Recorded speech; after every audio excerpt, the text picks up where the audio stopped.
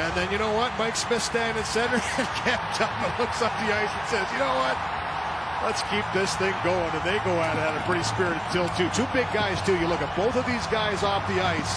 They're not your typical goaltenders. Talbot's a big dude, took a couple rights there. He comes back with one, and then as they go down, good job by Smith.